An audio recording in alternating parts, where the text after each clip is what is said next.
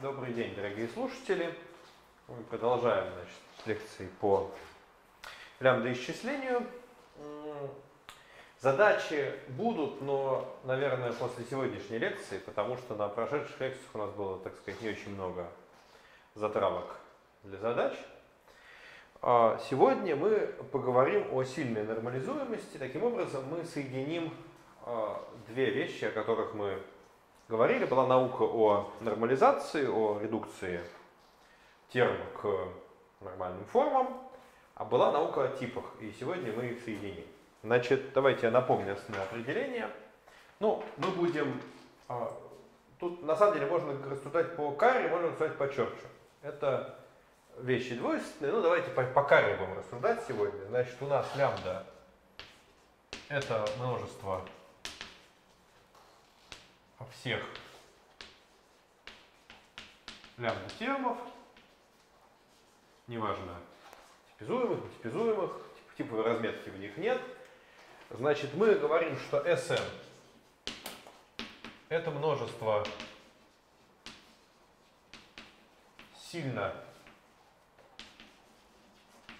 нормализуемых лямбда термов.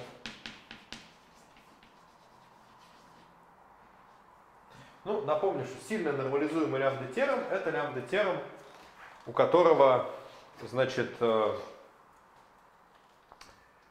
э, любая последовательность редукций останавливается. Так, минуточку, я это сделаю. Фокус наладить. А, нет, все. Нормально. Вот. Значит, то есть э, это означает, что если у нас терм m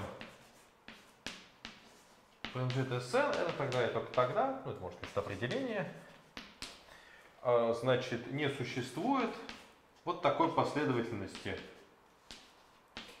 То мы только об эти говорим. Про эту редукцию я в задачах сформулирую. m2 и так далее бесконечно. Ну, бесконечно это в частности означает, что она также бывает зацикливающаяся. То есть, например, классический наш пример, если терм омега мы имели вот такой лямбда xxx, вот, да, а омега это два, два раза омега, то он за один шаг редуцируется к себе же. Ну и это бесконечная последовательность термов, потому что мы можем написать вот так и так далее. Это не, не сильно нормализуемый терм. Ну и даже не слабо нормализуемый, потому что это на самом деле единственная редукция, которую можно применить. И он никаким путем не может быть приведен к нормальной форме. То есть здесь ни один путь редукции, а он единственный, кто не остановится. Но бывают, как мы знаем, термы, ну, классические примеры, я могу написать что-нибудь такое, лямбда x.y, и дальше написать омегу. Этот терм редуцируется, естественно, к себе, потому что омегу можно редуцировать к себе за один шаг. С другой стороны, он редуцируется к y, ну и этот тоже, естественно, редуцируется к y. Ну а дальше здесь есть бесконечная цепочка. Вот этот терм, он слабо нормализуемый, но не сильно нормализуемый. То есть у него есть способ проредуцировать его к нормальной форме. И более того, как мы знаем, этот способ на самом деле канонический, то есть мы должны взять самую, самый левый редекс вот здесь и его редуцировать. Но есть и путь бесконечный. Такие бывают случаи. Вот. Но мы сегодня будем говорить о сильной нормализуемости. И нормализуемость связана с типизацией. А именно, смотрите, что здесь происходит. Вот этот терм, он не нормализуемый, омега, и он не типизуемый. То есть, ну, он замкнутый, поэтому контекста не нужно. Мы не можем вывести для какого-то типа тау вот такой вот а, значит, типизационное утверждение. Ну, почему? Ну, проблема вот в этом xx, который находится вот здесь. Когда мы будем пытаться типизовать, ну, по крайней мере, в простой типовой ситуации, в простом типовом лямбда исчислении, Значит, у нас э, здесь э, появится x, который должен иметь какой-то тип. Значит, вот этот второй x какой-то тип альфа. И тот же самый x должен иметь тип альфа стрелка бета. И вот эти два типа никогда в простой типовой системе не унифицируются. Потому что как бы мы ни, ни уточняли, как бы ни подставляли что-то вместо альфа и бета, это всегда будет длиннее, чем вот это. Вот. Ну, это значит, как бы, что почему вот это не типизуемо. Но на самом деле, как вот эта штука тоже не типизуема по той же самой причине. Но омега это сильно нормализуемая, правильно? Потому что это просто нормальная форма. Здесь нет никаких редексов, его никак нельзя редуцировать. У него есть лямбда, но лямбда ни к чему не применяется здесь. Поэтому пока что мы только в одну сторону можем сформулировать. Мы не можем сказать, что все, что нормализуется, все типизуемо. Но в прямую сторону можем. И теорема, которая здесь формулирована, теорема о сильной нормализуемости,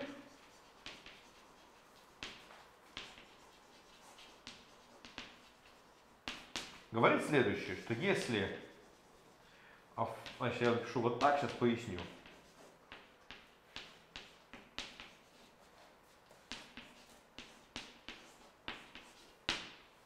Если терм m типизуем, причем неважно каким типом и неважно в каком контексте.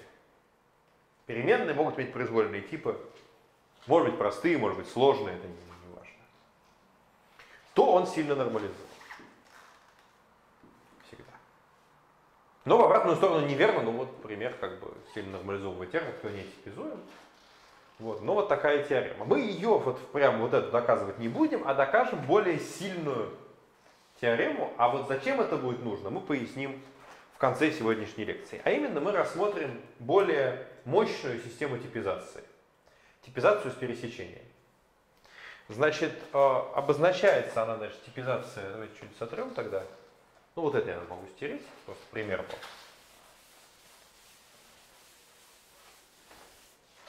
Значит, лямбда, стрелка, пересечение. Значит, это типизация пересечением пересечением типов. Но опять же по каре. И сейчас мы увидим, здесь просто по каре это довольно существенно. И переформулировать ее подчеркнуто, наверное, как-то можно, но это не очень удобно будет. И звучит она следующим образом. Значит, во-первых, типы. Ну, переменные по типам, конечно. Мы не будем отвечать переменные от констант по типам, потому что Здесь у нас не будет науки про выведение типов, не будет науки про подстановки. Также у нас, естественно, имеется вот так. А еще имеется, ну давайте там, альфа пересеченная бета. Что такое альфа пересеченная с бета? Это такой тип для объектов, которые одновременно являются и объектом типа альфа, и объектом типа бета. Вот, значит, э, дальше правило.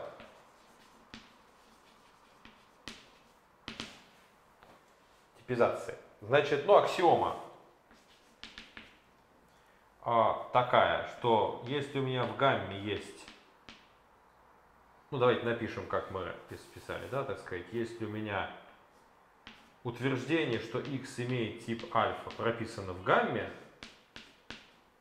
то в гамме выводится, что x имеет тип альфа. Аксиоматическая вещь. Правило up и ups. Значит, если я в гамме могу терму m приписать тип альфа, стрелка бета, а в той же гамме могу приписать n тип альфа, то могу приписать применению тип бета. Это up. А гамма это что? Гамма это контекст. Это... Контекст это... Ну, это вот сейчас скажу, значит.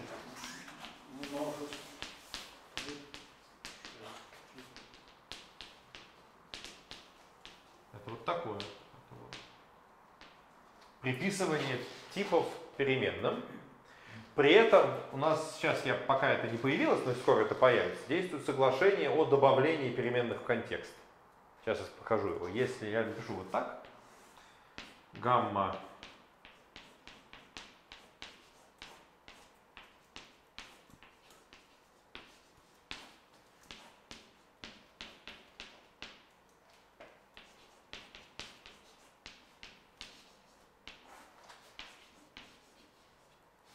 И вот эта запятая, это добавление x к контексту гамма. Если x там не было, то мы добавляем его с типом альфа.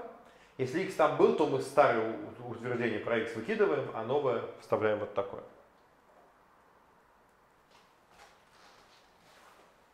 То есть это такой словарь типов для свободных переменных нашего термина.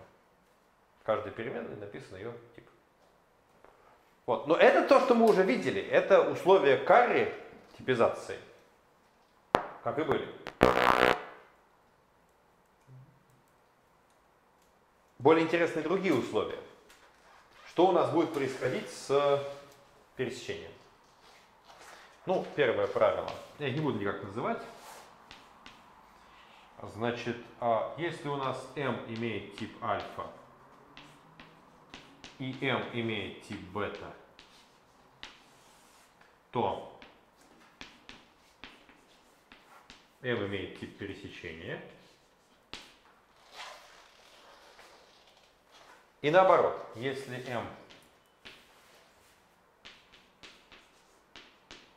имеет тип пересечения,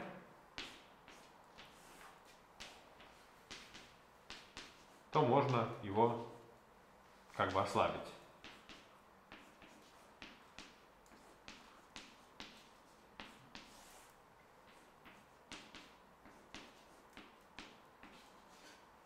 Вот такие вот правила.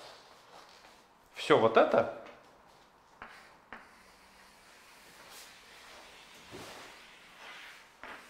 это и есть наше исчисление.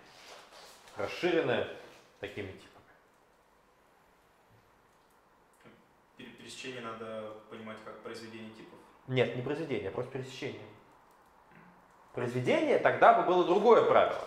Как бы мы могли собрать декартово произведение, грубо говоря? мы бы могли сказать, что у нас m1 имеет тип альфа, m2 имеет тип бета, тогда пара из m1 и m2 имела бы тип альфа декартова на бета. А здесь нет, здесь сказано, что просто это полиморфный объект, у которого два типа. Альфа и бета. Вот. Ну, казалось бы, здесь вроде как э, мы ничего особо не добавили, потому что мы же знали, что в системе карри есть наиболее общий тип. И если мы, грубо говоря, вот эти вот два типа здесь получили какие-то, то на самом-то деле это же проявление того же самого наиболее общего типа, его конкретизации. Почему бы сразу здесь вместо этого пересечения не написать вот эту вот, э, значит, э, самый наиболее общий тип? Он будет как бы еще абстрактнее, чем это пересечение, правильно? Ну, например, что я могу написать? Я могу сказать, что в пустой, в пустом контексте у меня типизуется лямбда x.x типизуется как, не знаю, там, P стрелка P, и оно же как Q стрелка Q, правильно?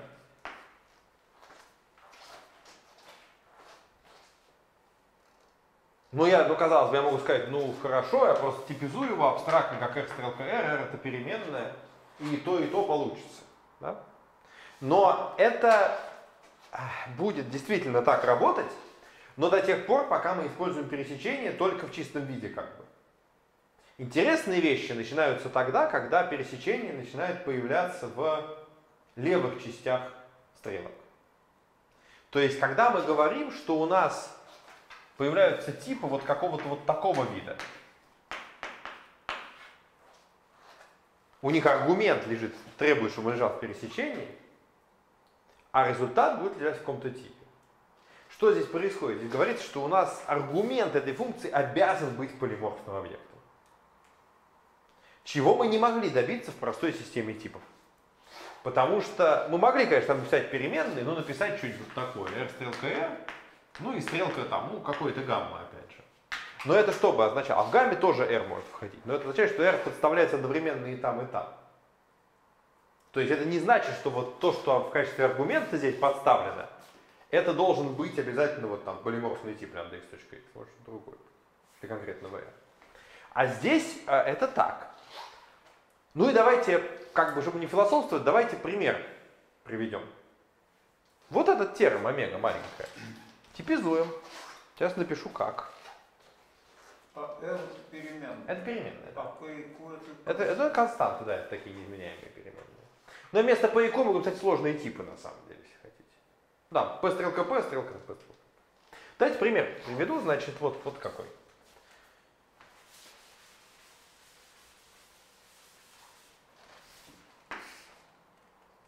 Вот этот терм.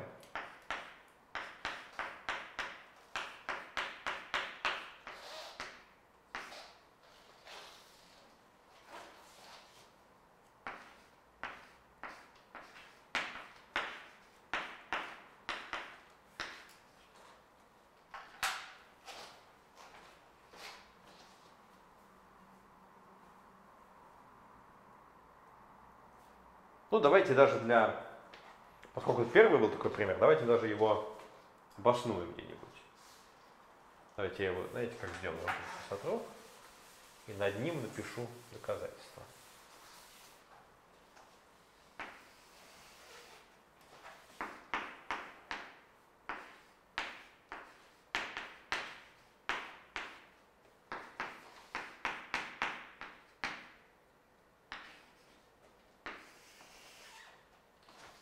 Давайте тогда обозначим вот это вот гамма. Значит, гамма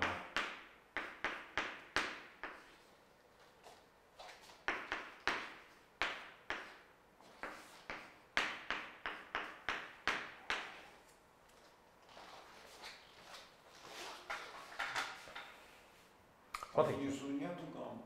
А нет, его нету. Гамма появилась, когда мы лямбду разобрали. Ну, у нас пустой контекст. Смотрите, вот этот терм, у него нет свободных переменных. x здесь связан. Когда мы разбираем его, то мы, у нас появляется вот эта штука. И я ее для краткости обозначил буквой гамма. Можно другую букву было использовать. Смотрите, что здесь произошло. Когда мы раскрыли вот эту лямбду, то тип, который присвоен переменной x, имеет вид пересечения. А это значит, что x одновременно является объектом типа альфа. Давайте так еще скобочки возьмем. И объектом типа функции из альфа в бету. Ну и, соответственно, мы можем вот в этом месте типизовать x как функцию, а в этом месте типизовать x как просто альфа. И все. И на этом у нас, э, значит, все получится. А- а- а- Аналог э, вот алгоритма Робинсона тут э, тоже есть. Нет, не будет. Не будет. И больше чувств не будет. Мы это, мы это докажем потом, на самом деле. Я покажу, откуда это следует. Может быть, это можно было бы как-то и проще получить. Ну, то есть, наверное, здесь можно привести пример явно а, несравнимых типов. Ну, давайте так, так- такой вопрос пока сформулируем, раз уж вопрос появился. Значит, бывают ли а, несравнимые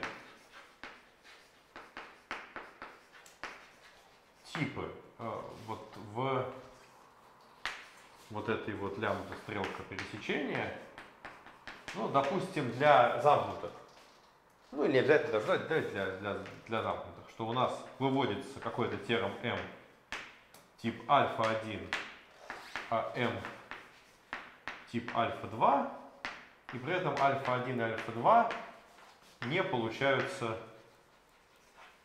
установкой из какого-то альфа. Одного типа альфа. На этот вопрос ответ на самом деле тривиальный. Можете подумать, если в такой формулировке это делать. Вот. Но это такая задача. Но мы увидим, что это в некотором сильном смысле не выполняется. и там неразрешимость алгоритмическая будет, алгоритм, алгоритм Робинсона здесь не будет. Вот. А, а теорема, которую мы формулируем, она вот точно такая же, и которую мы не будем доказывать, о сильной нормализуемости, но только вот здесь надо вот в этом месте написать там где-нибудь снизу лямбда, стрелка, пересечение. И более сильный результат у нас, значит, в некотором контексте гамма терм m типизуется типом тау. Но теперь и тау, и гамма могут содержать пересечение. И, соответственно, значит, э, тем не менее, будет сильная нормализуемость. Ну, в частности, вот этот терм омега маленькая, который вот здесь написан, сильно нормализуем, тоже это соответствует этой теореме. Это, конечно, не так очевидно, потому что он в нормальной форме находится. Ну вот такой вот. Что там напишешь? На альфа-1, альфа-2 не... Не получаются подстановка из какого-то одного альфа. Вот, но это такой вопрос, конечно. Вот. Значит, зачем нам нужна именно в такой формулировке сильная нормализуемость? Ну, из нее следует сильная нормализуемость для обычного типизованного лямбда исчисления по капе, правильно? А комбинаторы неподвижных точек э, таким же образом э, типизуются или нет? Нет, конечно. Нет. Если бы мы могли так типизовать квадрат неподвижной точки, то он бы был сильно нормализуем. А он не должен быть сильно нормализуем. Ну, то есть сам-то комбинатор, может быть, и может, но его применение к чему-то уже не должно быть. Потому что если у нас есть комбинатор, ну или точнее вот сама неподвижная точка, вот эта вот YF, да, должна как бы редуцироваться к f от YF, да, а это редуцируется к f от f, YF и так далее. Вот. Но, значит, э, соображение про комбинатор неподвижной точки, э, тем не менее, разумное. Потому что, на самом деле, почему мы вот добавили это пересечение? Ну, не просто, чтобы формально более сильный результат получить. А на самом деле, с помощью типов с пересечением мы будем э, типизовать, ну, правда, в некотором специальном смысле, э, термы, представляющие вычислимые функции. И мы получим, э, значит, в итоге построение, значит, кодирование рекурсивных функций в некотором смысле типизуемое, но не в самом очевидном смысле. А в результате мы получим, э, значит, э, неразрешимую сильную нормализуемость. Вот наша цель как бы такая глобальная. Но это не сегодня будет, это будет в следующий раз. А сегодня мы э, поговорим о этом самом, о доказательстве вот этой вот теоремы. Значит, доказательство, я сразу скажу, оно довольно простое, но не элементарное в том смысле, что индукция, которая будет там происходить, не формализуется в арифметике. Она как в некотором смысле трансфинитная. Но, возможно, вы этого даже не заметите. А если не заметите, то и хорошо. Значит, это доказательство восходит к Тейту, но я его буду... Ой, я стер. Ну да, давайте эти правила оставим, а для того самого, для лямбды и это и самое уберем. Значит, оно восходит к Тейту, ну, я его излагаю ну, близко к книге Жерара Proofs and Types. Ну, именно что близко, то есть некоторые детали там отличаются. Вот, значит, как мы будем рассуждать? Значит, ну, мы будем, мы теорему вот здесь сформулировали, и мы будем говорить следующее. Значит, некое определение довольно странное сейчас дам. А, значит, типу сопоставим. Произвольному типу, как он обозначался у меня, сигму почему-то, а множество лямбда термов, которое обозначается вот так, двумя палочками. Значит, при этом они не обязательно замкнуты, там будут переменные, и это нормально. И не обязательно типа сигма. Увидим, что там на самом деле будут термы разных типов, возможно даже и нетипизуемые термы.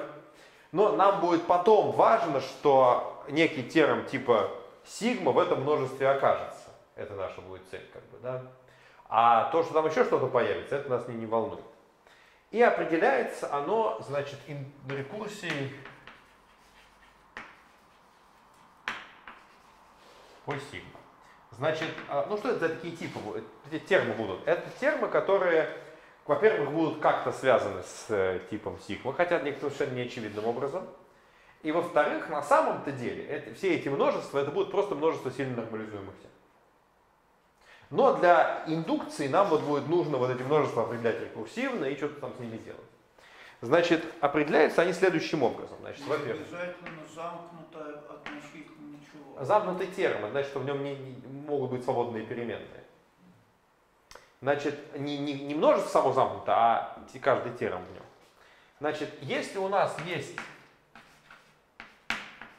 переменные или константы по типам, то мы в качестве этого множества берем просто множество всех сильно нормализуемых терминов.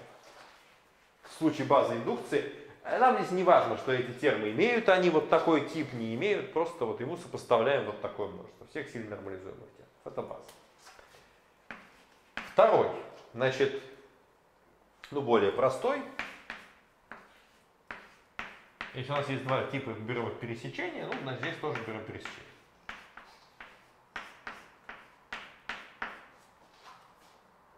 И третий, более самый интересный, сигма стрелка тау.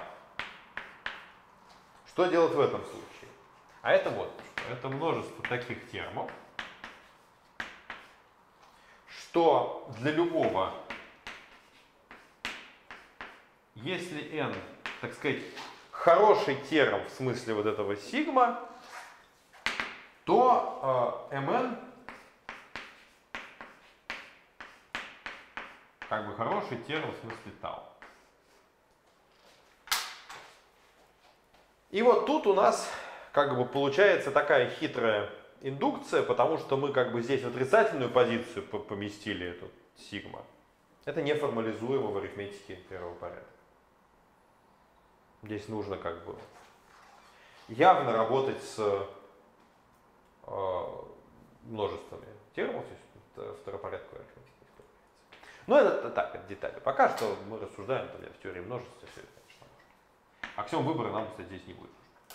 Значит, э, что мы делаем дальше? Давайте немножечко э, порассуждаем о вот о чем. Значит, э, ну, я сформулирую несколько лем, а доказывать их буду уже потом. Первая лемма, значит, будет проводиться общей индукцией по типу. Значит, мы говорим так, что для любого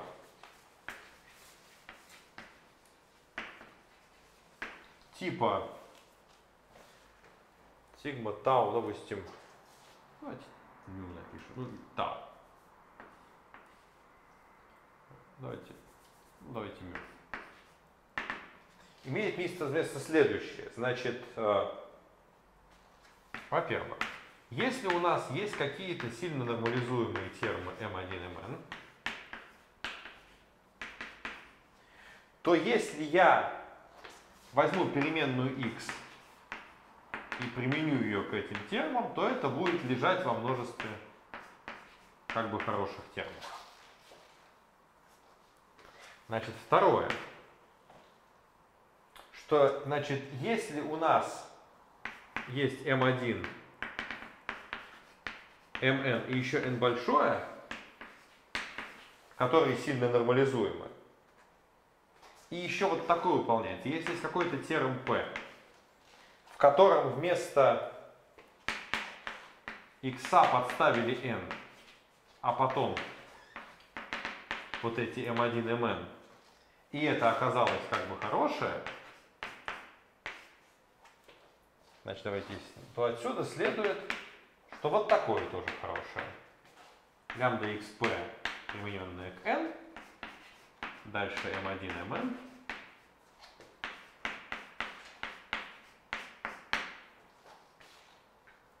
Ну и третье, что все хорошие термины, с точки зрения типа μ, на самом деле сильно нормализуемы. Это будем общей индукцией проверять. Значит, э, тут фактически что сказано? Что на самом деле вот эта вот вещь, она как бы мимикрирует а, сильную нормализуемость, ну, в таком неком специальном виде. Потому что как терм устроен? Он либо у него нет лямбды снаружи, то есть он как бы на внешнем уровне нормализованный.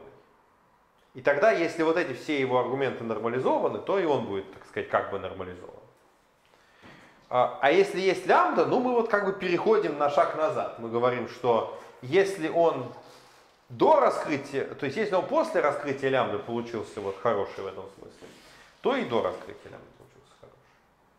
Ну и последнее, что все, что мы таким образом построили, оно не выходит за пределы класса сильной нормализованности.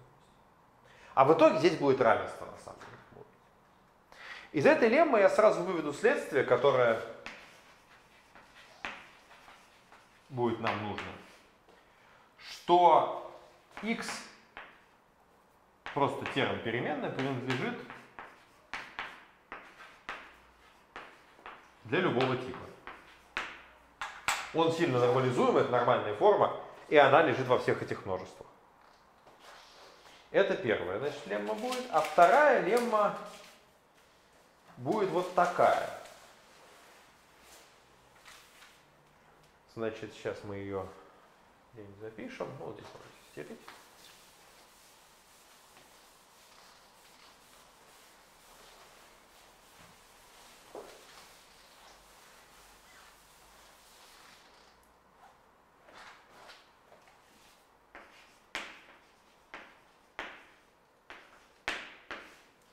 Это будет такая лемма о подстановках, как бы, или о контексте. Значит, пусть у нас гамма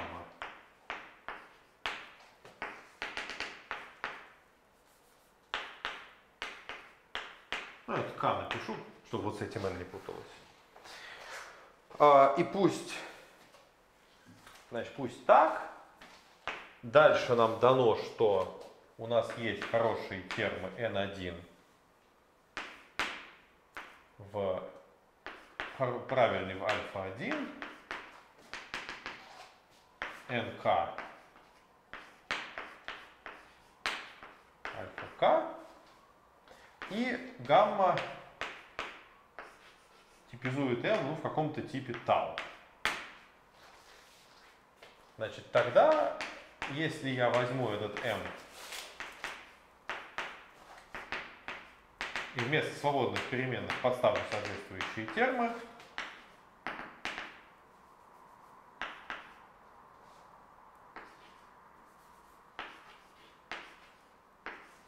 то этот будет хороший тип этап.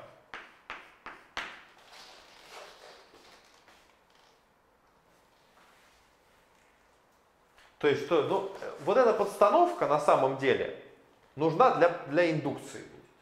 Мы увидим, где она нам потребуется.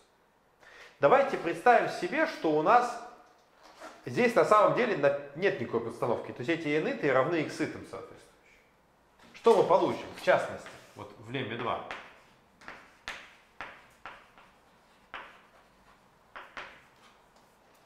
Что мы имеем? Вот по этому следствию мы имеем сами икситы лежат вот в этих множествах. Следовательно, m с подстановкой вместо x самих x то есть это самый исходный терм m, лежит в множестве тау. А в силу лемма 1 пункт 3, вот этот последний пункт, это тау содержится в Sm. Значит, m лежит в Sm. И это доказывает теорему о сильной нормализуемости. То есть мы здесь что сделали? Мы, так сказать, для... А, мы рассуждаем какой-то такой хитрой, запутанной индукцией.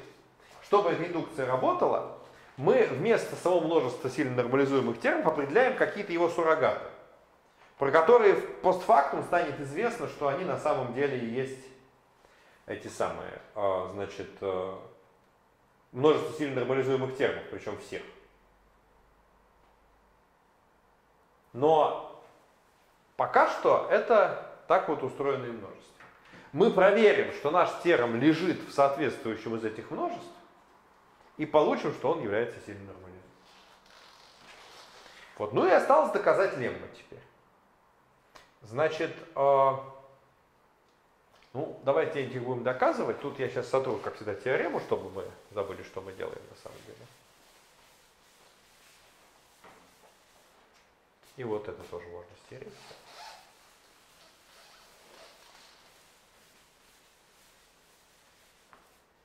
И будем доказывать. Значит, доказательство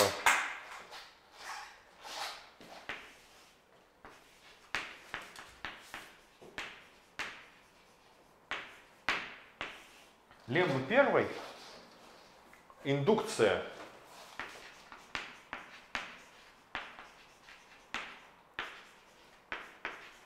по построению типа. Ну, смотрим.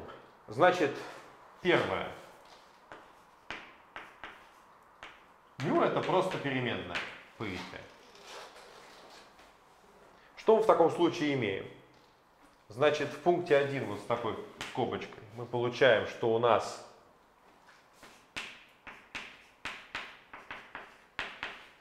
мы имеем вот так. И смотрите, что мы здесь видим.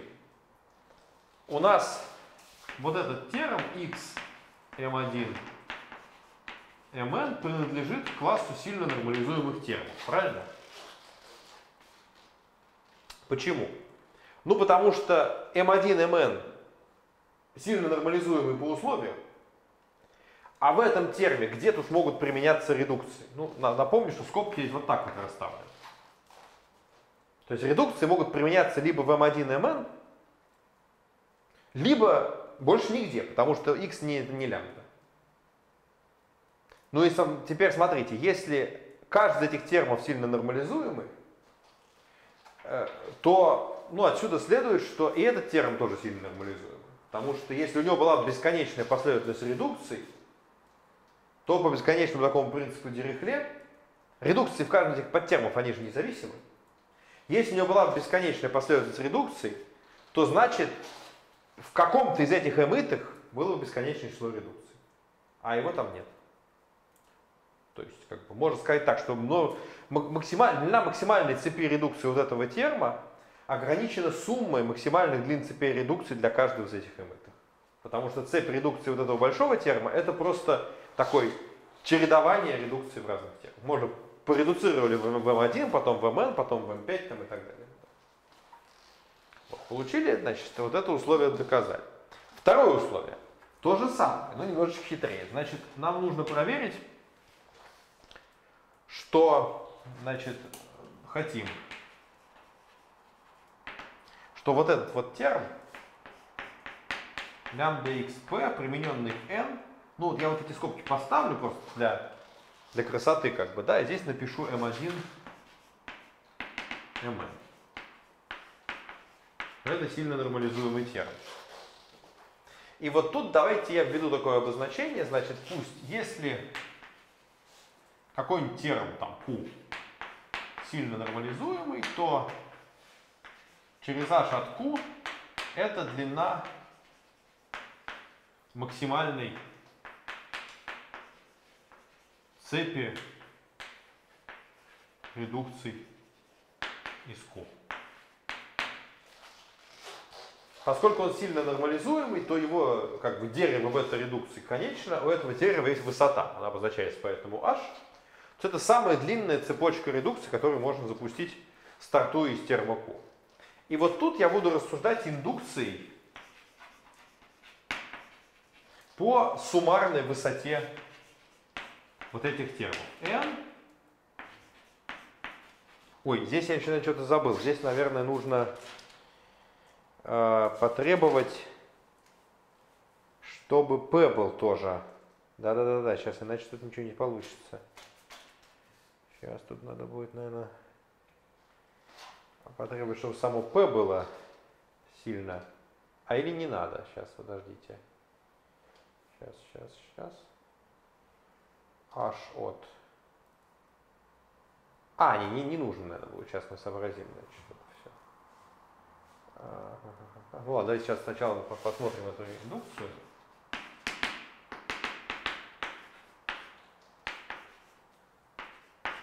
Будем так писать. Ну, давайте прежде чем это делать, мы скажем вот что. Значит, э, мы же знаем, что это вот тоже, μ это переменная. То есть это сильно нормализуемо. То есть дано, вот в этом случае, нам еще, еще дано, что вот такой вот терм, сейчас давайте кое-что сейчас проверим, пока мы это не начали, и продолжим. Так, сейчас, сейчас, сейчас. Где же это было написано?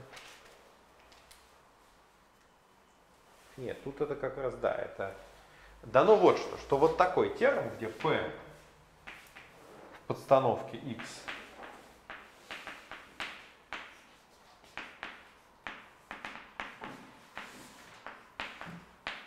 то вот этот терм сильно нормализуемый. Ну, он лежит вот в этом множестве, а поскольку это базовый случай, то это множество как раз и есть множество всех сильно нормализуемых термов, правильно?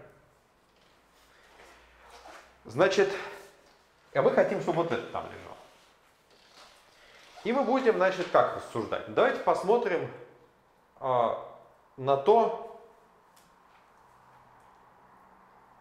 а, Нельзя сказать, нельзя теоремой еще вообще воспользоваться. Вот мы и хотим сейчас воспользоваться, но вопрос как бы, как именно мы будем это делать. Значит, э, э, сейчас мы аккуратно это значит, сформулируем. Э, какие тут, как вообще доказать, что у нас терм э, сильно нормализуемый? Ну, для этого достаточно показать вот что. Вот у нас есть терм какой-то, ну. Из него есть а, какие-то редукции, правильно?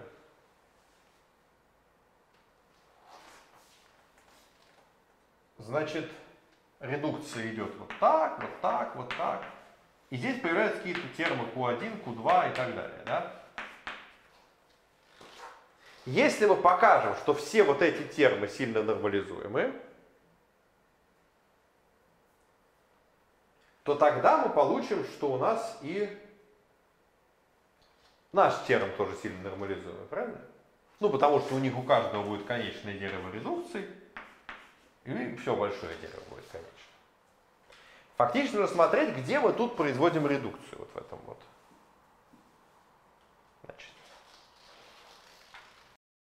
Вот. Только единственное, что я, мне кажется, немножечко сейчас, может мог, мог пробраться по поводу... Подождите, я, вот у меня вопрос. Ведь у нас, получается, этот терм редуцируется, ну вот лямбда x.p чего-то редуцируется к p, в котором вместо x поставили n и применили m да? Да. Но это, но это не, в чем проблема? Это не единственная, не единственная возможная редукция его. Но все, все остальное, к чему редуцируется этот термин, э, можно по теореме Чорчи-Россера вроде как а, вот, тут, вот тут тонкость. Так впрямую, наверное, не должно сработать. Вы смотрите, что у нас происходит. Но ну, пусть этот термин, обозначим его действительно Q, вот этот вот. Мы его, а вот это какой-то Q', да? То есть что у нас получилось? Мы доказали, что у нас, значит, наш терм Q средуцировался к какому-то Q', и Q' у нас сильно нормализуемый, правильно? Отсюда, вообще говоря, не следует, что наш терм Q сильно нормализуемый. Вот, вот прям так, правильно? Потому что вдруг оказалось, что он, ну, например, оказалось, что он равен там лямбда x.y, примененный там, не знаю, какой-нибудь Амелии, да? Ну вот мы его средуцировали, ну а как тогда? Он средуцировался к чему-то еще, к какому-то Q2 штриха. Он, конечно, по Чорчу сюда редуцируется, но здесь же у нас два шага произошло. Дальше может и три также произойти и так далее. То есть это не значит, что наше дерево не может куда-то в бок так вот расти, постоянно, конечно, возвращаясь к нашему Q', но тем не менее но, но как бы будучи бесконечным. Так, так не получится. Но здесь есть некая... А? Простейший пример этого, это, собственно, мы сегодня приводили уже. Это лямбда y x, да, например, и там омега большой. Ну вот он написан здесь вот сверху. А, Это он и есть, например, да? Но почему это не наш случай? Потому что у нас дано, что эти вот этот n, вот который в качестве омега большого здесь появляется, что он сильно нормализуем. Я на самом деле, давайте попробуем вот что сказать. Давайте вот на такой вопрос ответим. Верно ли, что P сильно нормализуем?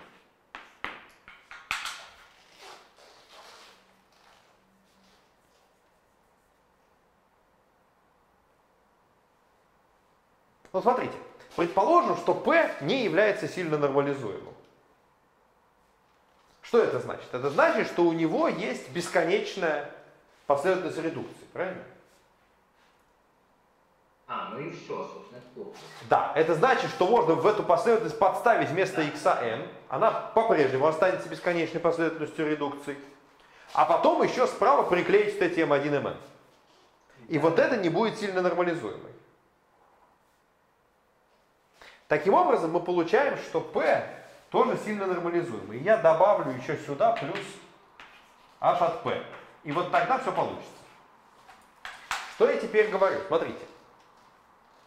Я хочу сказать, что вот то, что кто-то сейчас отмечал из слушателей, значит, оно устроено так, что мы можем, вот у нас есть наш терм Q, вот этот, значит, Q редуцируется Q штрих сильно нормализуем, это мы знаем, но нам нужно еще доказать, что если здесь какой-нибудь Q2 штриха написан, то он тоже сильно нормализуем. Ну а к чему его еще можно редуцировать, этот терм? Ну смотрите, его можно, либо мы его редуцируем вот к этому, а, значит, именно вот этот редекс разобрав, а также мы можем редуцировать что-то внутри вот этих термов. P, N, M1 и так далее, Mn. Но смотрите, что произойдет. Если мы здесь что-то средуцируем, все вот эти подтермы, они сильно нормализуемы по условию, правильно? Если мы здесь что-то средуцируем в этих подтермах, то у нас, а, значит, уменьшится вот эта суммарная высота, правильно? Например, я взял n, средуцировал к какому-то n. Да, понятно. Высота уменьшилась. И получается точно такая же формула, но только для э, меньшего, а, значит, для меньшего терма, правильно? Ну, допустим, вот давайте разберем случай, когда у нас n редуцируется к n штрих, бета-редукции. Тогда смотрите, что я могу сказать.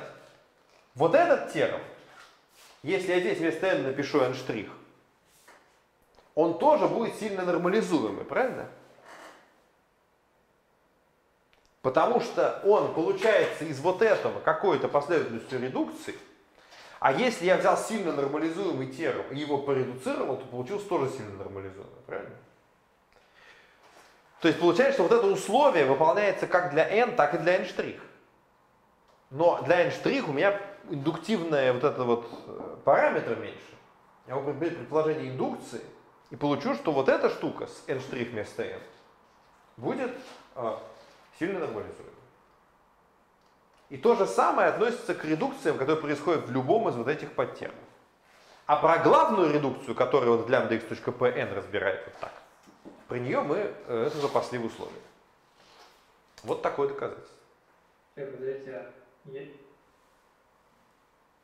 а я не очень понял, если мы применяем, ну, э, главная редукция, это которая, сюда, что с главной редукцией происходит?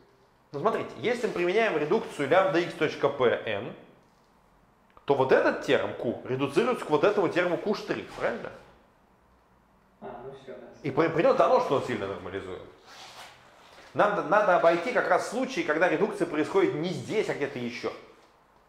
Но там это получается, потому что каждый из этих подтермов сам по себе сильно нормализуем.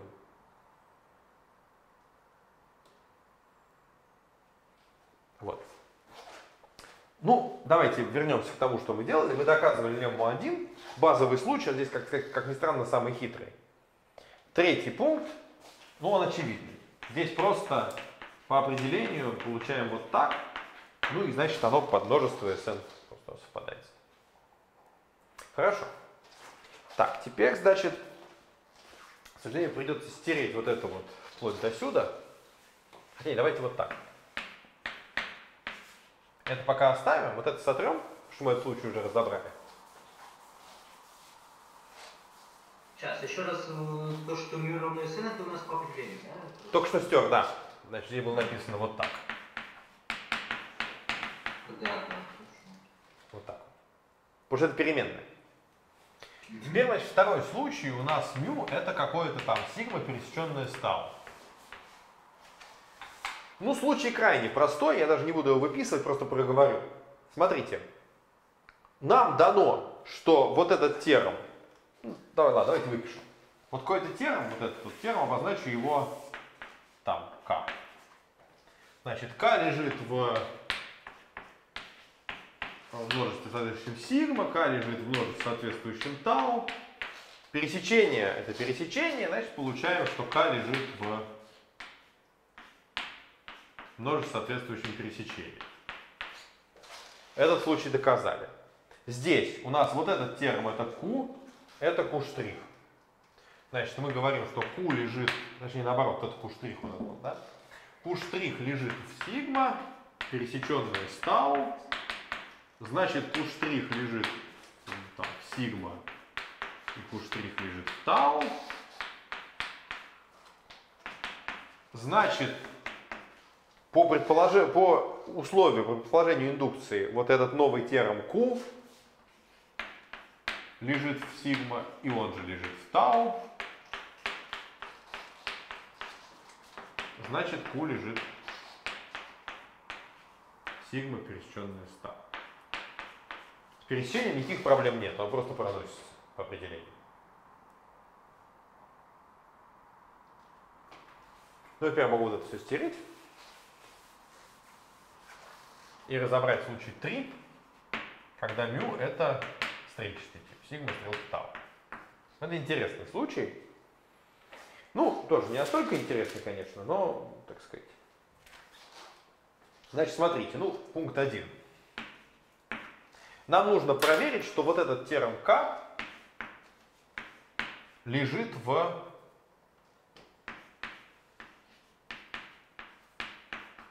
сигма стрелка тау. Ну и смотрим вот на определение. Значит, нужно подобрать какой-то n. Значит, мы берем его, пусть n лежит во множестве соответствующем сигма. Но смотрите, у нас сигма это более простой тип. Значит, по предположению индукции, пункт 3, вот это, n сильно, сильно нормализуемый, правильно?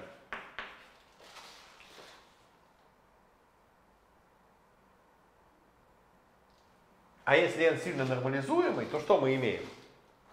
Тогда, значит,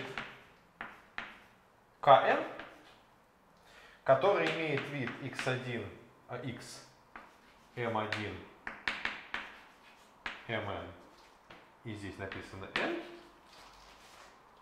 лежит в тау. Это по предположению индукции пункт 1. Правильно? То есть мы добавили вот сюда, почему здесь нам нужна была цепочка вот этих вот. То есть наша цель-то нам нужно x получить. А мы здесь дописали еще почему-то кучу вот этих терминов. Ну просто каждый раз, когда мы будем стрелку разбирать, мы будем добавлять туда еще один для индукции. Второй пункт. Значит, э, ну тут то же самое на самом деле. Мы, значит, рассмотрим лямбда x p n. Ну, давайте не будем даже пока так писать. Значит, мы напишем здесь, что, опять же, q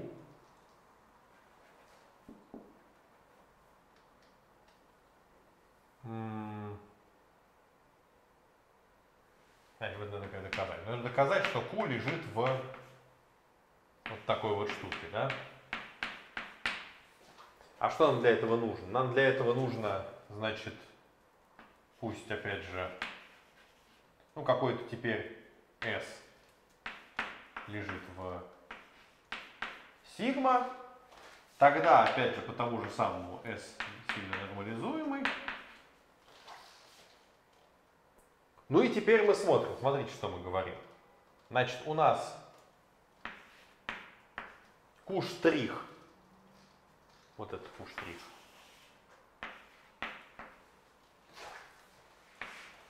S лежит в этом.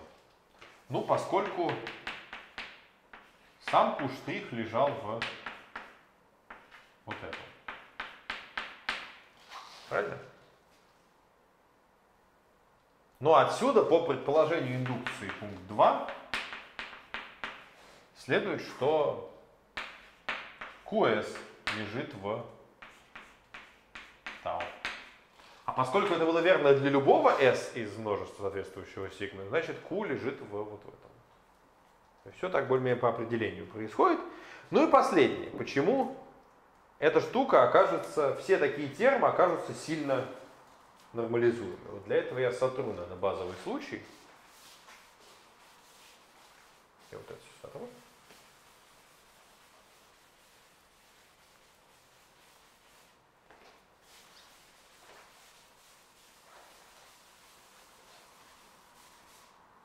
И буду действовать так.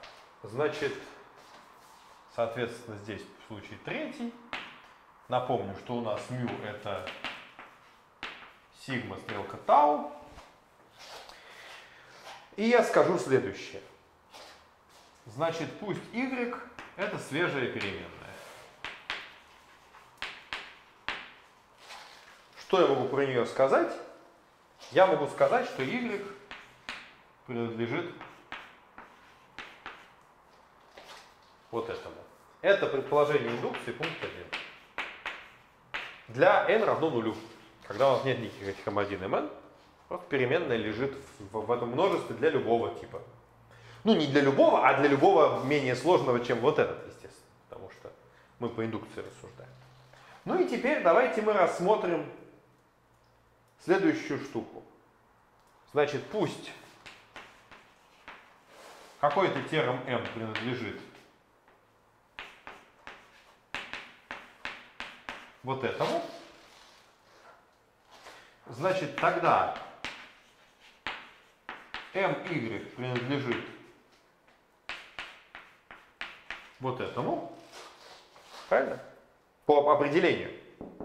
Я взял какую, какую в качестве n, я взял y. Просто переменную. Значит, отсюда следует это предположение индукции пункт 3 что my принадлежит сильно нормализуемому. А отсюда следует, что m принадлежит сильно нормализуемому. Потому что в сильно нормализуемом терме не может быть не сильно нормализуемого подтерма. Если m имеет бесконечную цепочку редукций, то эта бесконечная цепочка унаследуется и сюда. Мы можем их осуществлять в терме m, а y вот. Так что мы доказали вот эту вот замечательную лемму 1. Вот. Есть ли вопросы по этому делу? Ну, если вопросов нет, то мы переходим к доказательству леммы 2. Значит, напомню, о чем она была.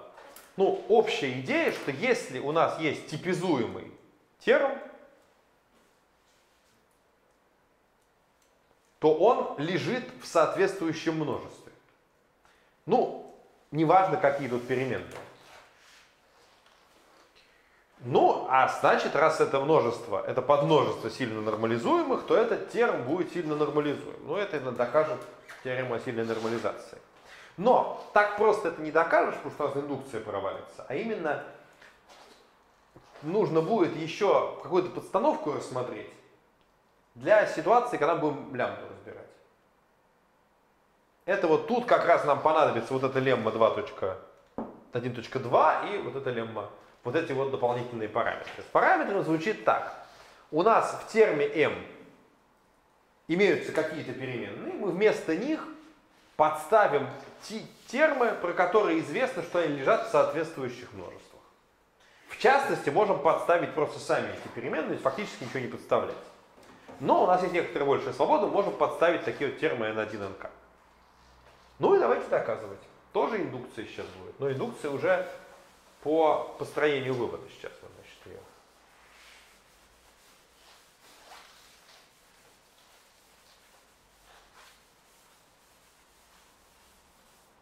Значит, доказательство.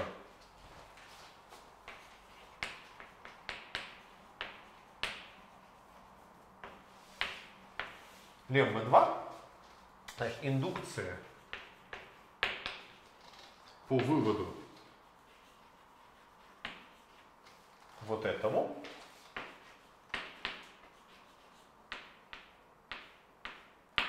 Тут давайте я немножечко отвлекусь и скажу, что теперь, в отличие от случая простого типа валямного исчисления, в принципе, этот вывод это не то же самое, что индукция по построению термо m. Потому что там появляются пересечения, и правила для пересечения, они как бы не определяются структурой терм. Ну, если вы помните, какое там было правило, я хочу доказать, что э, m имеет тип там tau, то я могу написать еще и вот так. Это как бы не аналитическое правило. То есть э, m не, не диктует нам, что надо к его типу добавить еще что-то. Вот как раз в том месте ломается Робинзоновский вот этот вот унификационная деятельность. Но нам сейчас не важно. Мы индукцию ведем по выводу. Вывод конечный. Значит, э, как мы будем действовать? Чтобы все по индукции получилось. Значит, ну, если у нас, значит, первый случай база, значит, мы имеем x двоеточие альфа, это лежит в гамме, соответственно, альфа это тау, m это x. Ну что мы тогда имеем? Ну мы имеем, что m подстановки вместо x, ну какой-нибудь x напишем. Вместо x мы подставили какой-то n итый. Ну это и есть сам n итый, такая подстановка тривиальная. Ну и он лежит в соответствующем, так сказать, здесь будет альфа итая тоже ну, в соответствующем альфа-итом, просто по условию. Нам дано, что каждый n ит лежит в соответствующем множестве. Тут ничего интересного в базовом случае не происходит. На самом деле базовый случай, настоящий, это то, что x и чистое будет лежать в следующем множестве. Но это уже было у нас время 1. Значит, второй случай, когда мы действуем по правилу... Давайте для пересечения сначала. Допустим, я написал вот такое вот правило.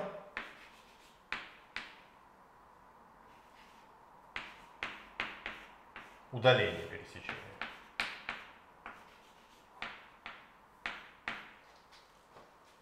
Ну, отсюда мы получаем, что m лежит в... Ну, давайте вот это m обозначим m с волной, вот этот вот терм. m после подстановок.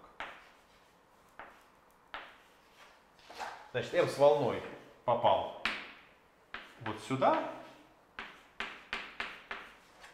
Ну, а это просто вот так. Ну и отсюда следует, что он, конечно же, попал в большее множество.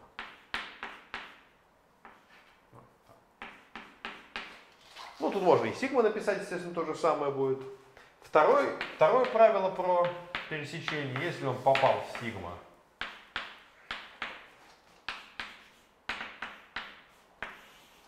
могу написать вот так.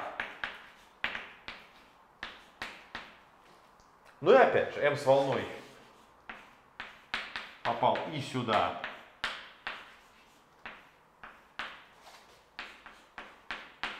и сюда, ну, значит, он попал и пересечение.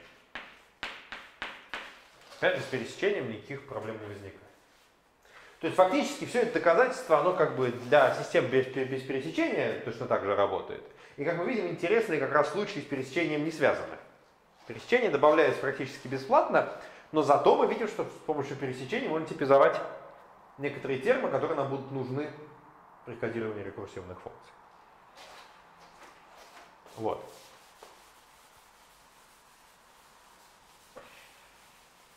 Ну и более интересный случай. Значит, третий случай это up. Значит, мы типизуем m сигма стрелка тау, n сигма, и вот этот mn здесь тау. Ну, мы получаем, что m с волной лежит в вот этом. N с волной лежит. Вспоминаем определение вот этого множества, сигма стрелка тау. Что это такое? Это такие термы, что если взять mn, то получится что-то во множестве. Если, если я возьму произвольное n отсюда, то mn будет лежать вот здесь. Но это в точности, что нам здесь нужно. Я возьму m с волной, n с волной, и он окажется во множестве соответствующим тау. Ну а теперь простое соображение, что я могу волну вынести наружу. То, что такое подставить что-то в подстановку, в, при применении. Ну, поставил влево, поставил вправо. Ну и последний. Сейчас доказательство лемма 1 там отсюда уберем. Самый интересный случай, когда вот все вот это нужно на самом деле будет. Это лямбда. Значит, ups. Значит, это up. А ups такой, значит, здесь гамма. Появляется еще один x, уже без номера. А здесь появляется m, типа, ну, тау давайте напишем здесь. А здесь, соответственно, гамма m, э, простите, лямбда x m типа альфа стрелка тау. Ну и на самом деле у нас все запасено, чтобы все прошло гладко. Тут как бы в, этом доказательстве вот главное это формулировки лем. Если вы не, не, не очень внимательно следите за тем, что происходит в доказательствах, это не так страшно, потому что вы всегда можете их восстановить, просто как бы рассуждая как бы прямолинейно, да, так сказать, просто вот двигаясь вперед. Главное это вот, вот эти вот соображения все, да, здесь, которые использовались. Это Тейт вот так хитроумно придумал. Ну давайте посмотрим, что нам дано. Значит, дано вот что. Значит, если n-иты лежат в альфа-итах, и еще у нас n лежит в альфе, x еще одна переменная. Можно считать, что она как бы внешне добавлена. Ну, давайте вообще можно, можно будем считать, что x не принадлежит свободным переменным m, ну то есть x не принадлежит вот этому x1, xk. Ну, если он принадлежит, ну, сделаем альфа-конверсию для простоты. То есть n это новое вот это такое, соответствующее x. Что мы тогда имеем? Надо взять m и подставить в него вместо n итых, вместо x итых подставить n итые, а вместо x подставить n. Но давайте мы а, сделаем похитрее, напишем m с волной, а потом здесь вместо x подставим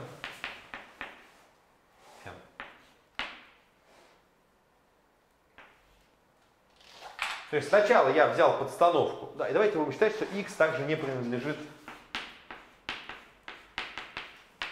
свободной переменной вот этих n Опять, если принадлежал, ну, переименуем его.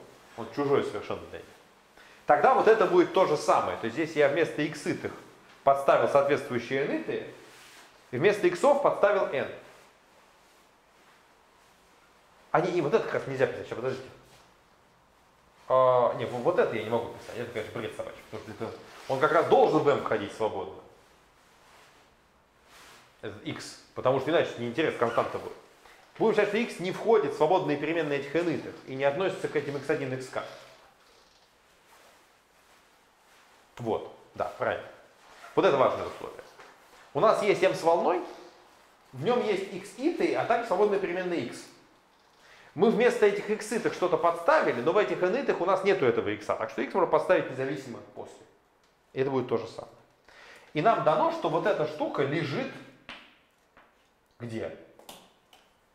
Ну, в этом самом, в множестве, соответствующем тау. Правильно? Это просто предположение индукции.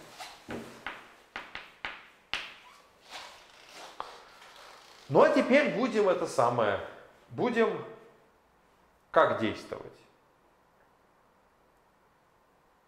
Значит, пусть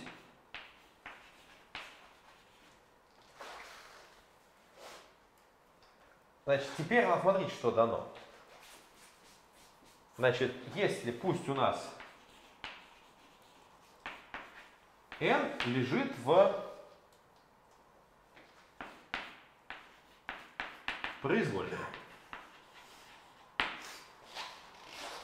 Значит, тогда смотрите, что происходит.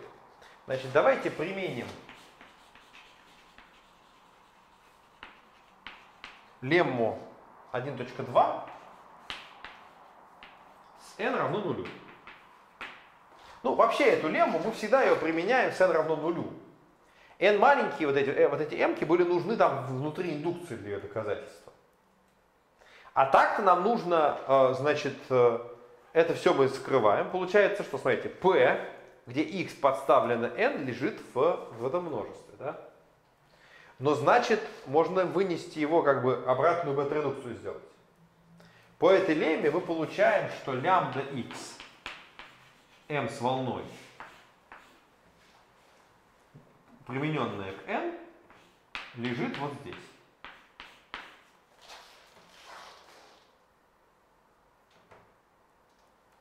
Ну а поскольку n было взято произвольно, то мы получаем, значит, вот это вот просто лямбда x с волной лежит вот здесь. Согласны? Ну и последний штрих, как вот тут пишем вот так.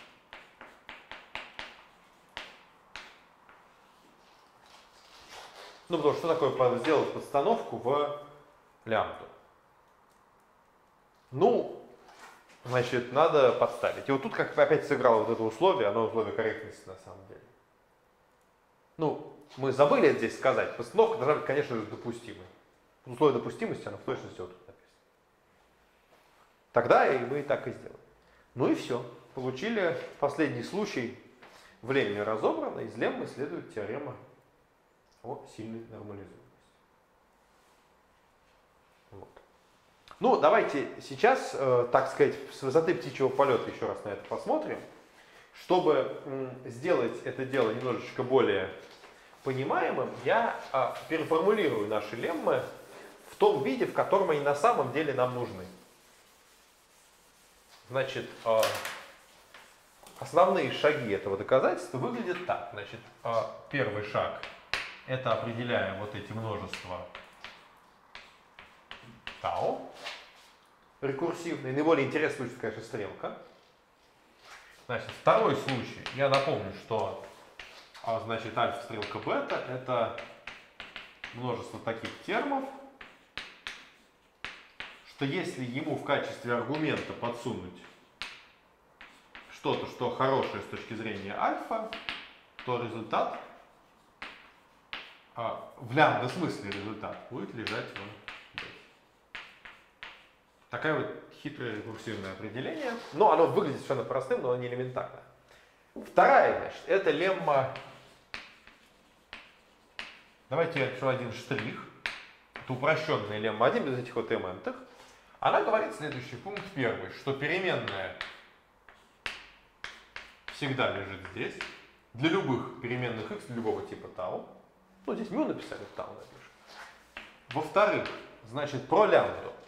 Если P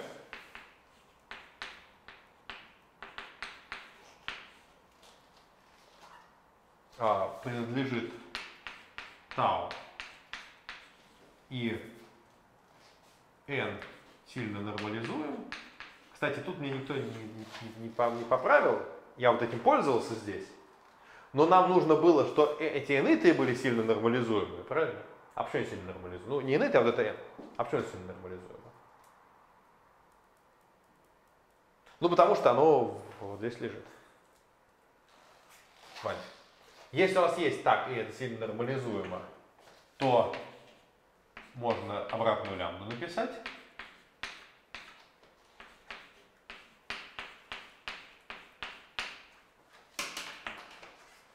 И, наконец, третий пункт, что вот это вот эти множества, они все, так сказать, состоят из сильно нормализуемых терминов.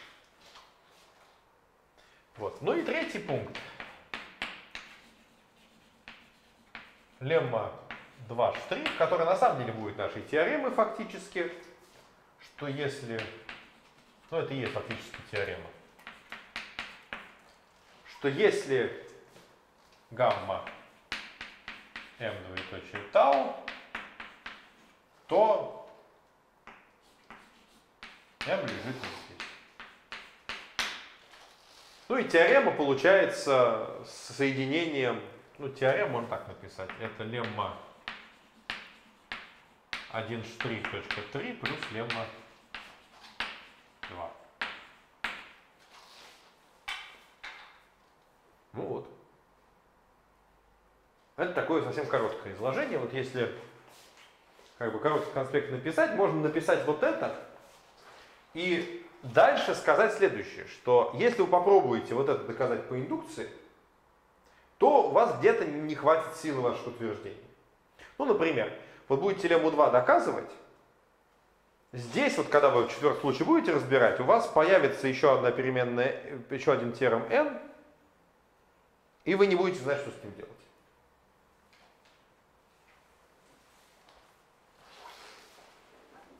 Ну, для того, чтобы этого не происходило, мы здесь кое-что добавляем. Значит, в лемме 1 мы добавляем вот эти дополнительные аргументы.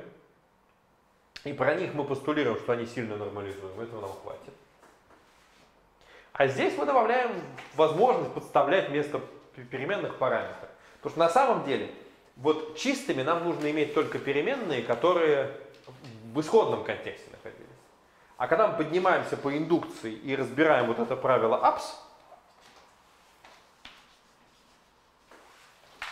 то здесь появляется новая переменная, и вместо нее мы не хотим ее саму подставлять.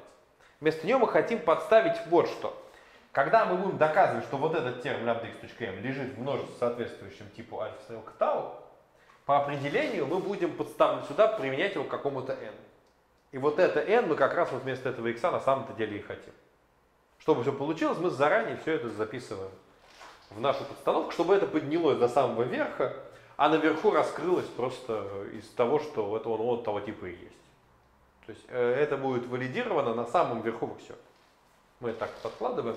Значит, этого избегаем каких-то лишних там ложных индукций или чего-то подобного.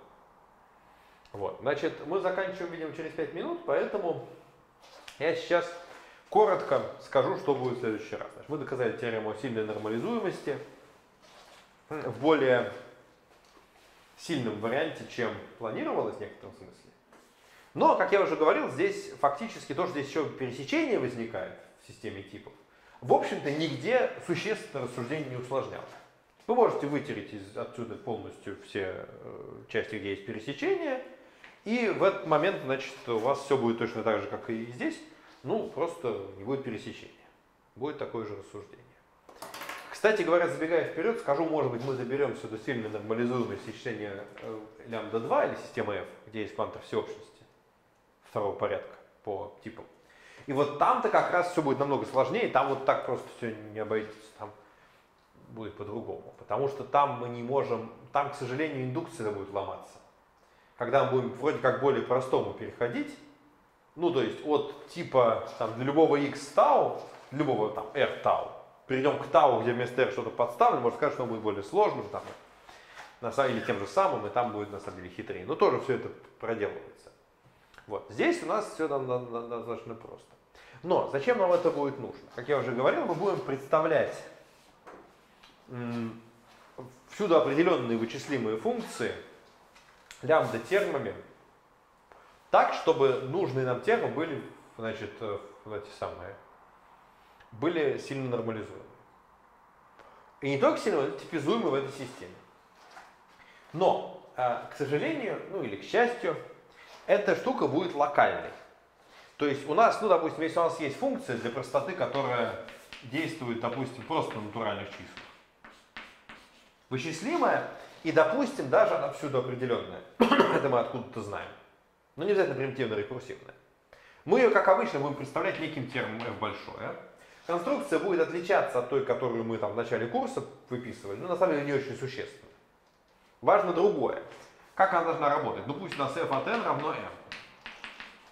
Ну тогда мы знаем, что fn равно, так сказать, m, это бета равенство, а m это, и m это нумералы черчи, соответствующие, так сказать, э, этим числам.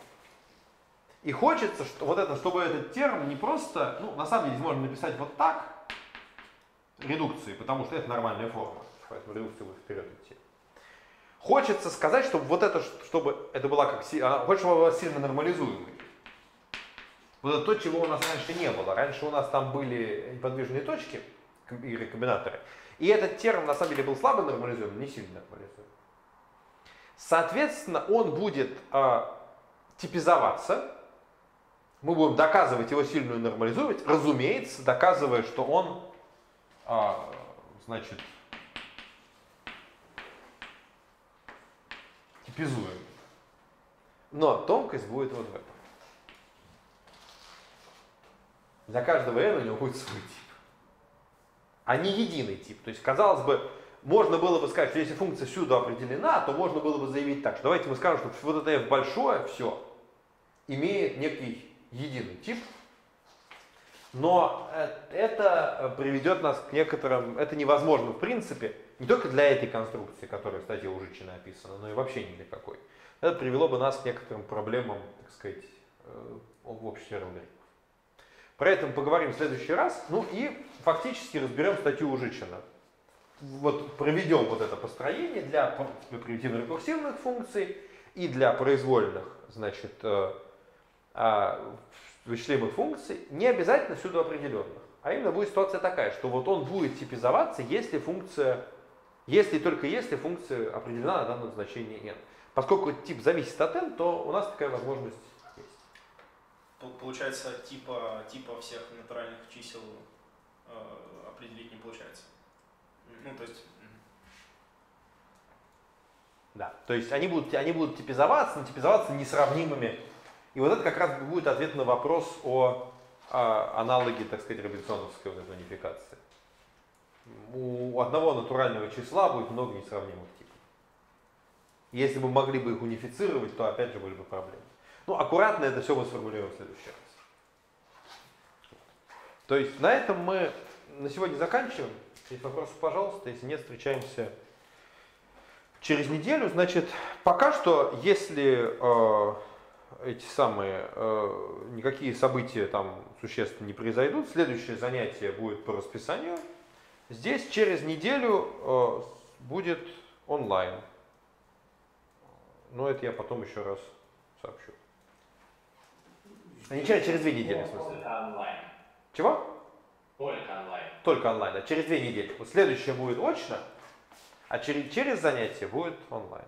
Ну, я, я об этом сообщу, напишу по почте, естественно. Да. Все? Все, спасибо.